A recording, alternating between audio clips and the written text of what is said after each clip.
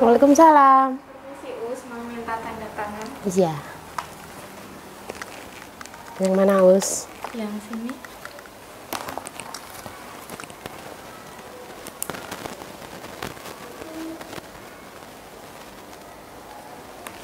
Ada lagi? Dan lagi yang sebaliknya.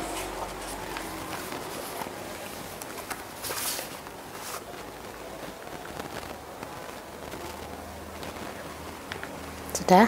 Sudah gitu. Oke. Terima kasih Us. Sama-sama. Assalamualaikum warahmatullahi wabarakatuh.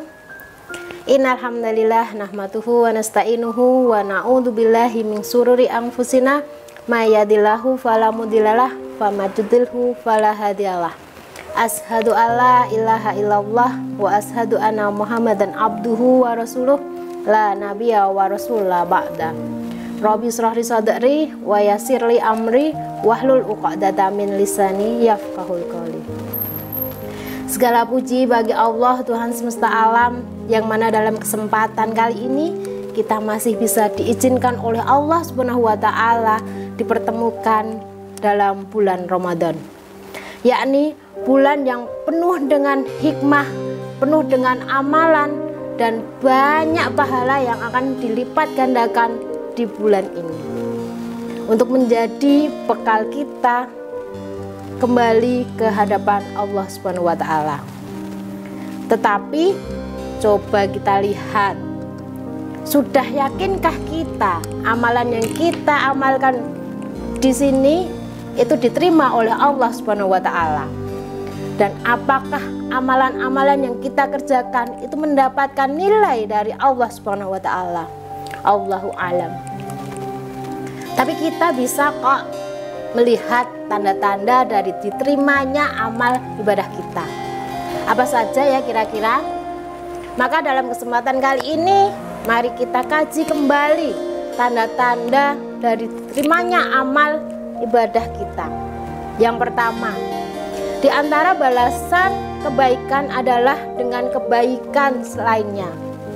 Min syawabil hasanati hasanatu ba'daha sehingga ketika kita sudah terhipnotis dengan ibadah-ibadah baik yang dilakukan hanya akan fokus bertakwa kepada Tuhan yang Maha Esa pasti akan ketagihan melakukan ibadah-ibadah lainnya misalnya saja kita dihidup di dunia ini melihat Islam untuk menjaga agama kita adalah Islam.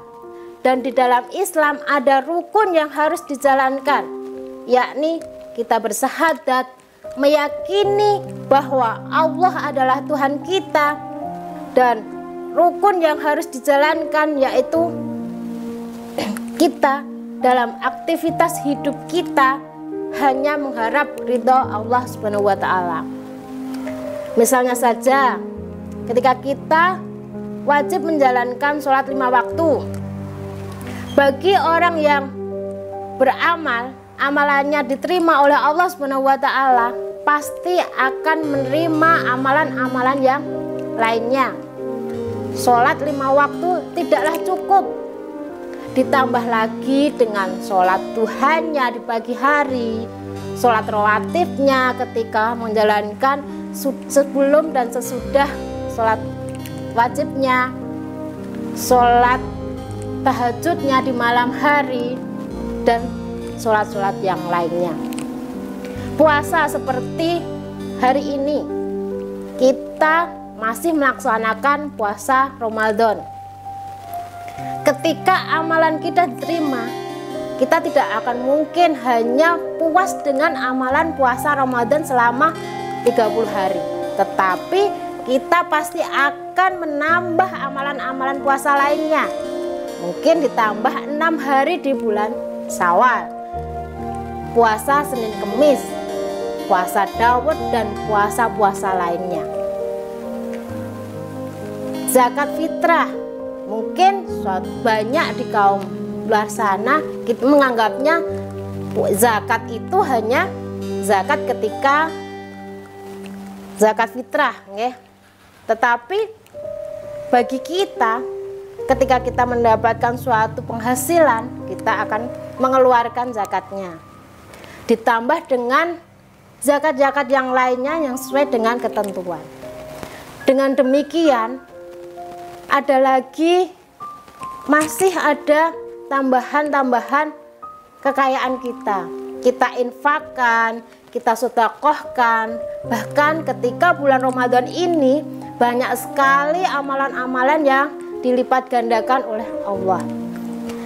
Bagi yang banyak hartanya selalu bersedekah, menginfakkan, banyak memberikan takjil untuk berbuka puasa untuk saudaranya yang membutuhkan mungkin dan sebagainya.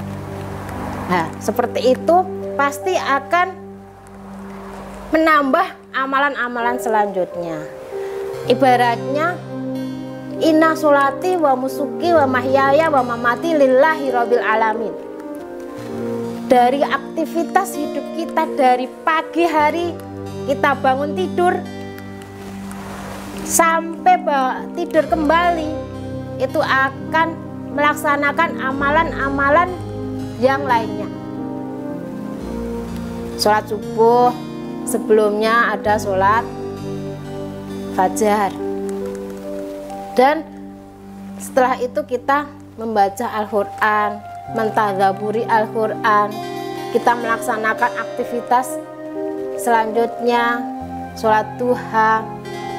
Setelah itu mungkin di sore harinya ketika kita sudah istirahat ada lagi kegiatan untuk uh, puasa.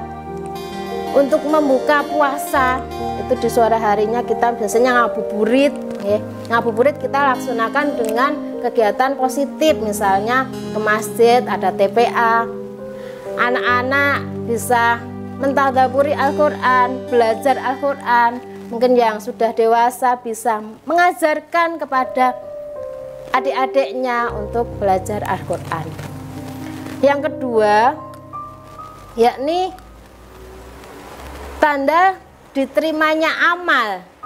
Yang kedua yaitu munculnya kebahagiaan dan ketenangan dalam diri seseorang.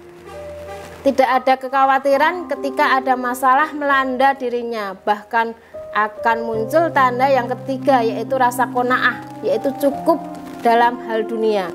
Karena yang menjadi tujuan utama dalam kita beraktivitas hidup di dunia ini yaitu adalah keridoan Allah Subhanahu wa taala dan di akhirat nanti kita akan mendapatkan surga insya Allah. Amin amin ya robbal alamin jadi ketika orang itu sudah mencintakan kepada Robnya Allah Subhanahu wa taala dari aktivitas hidup kita itu hanya fokus untuk ibadah, ibadah, dan ibadah.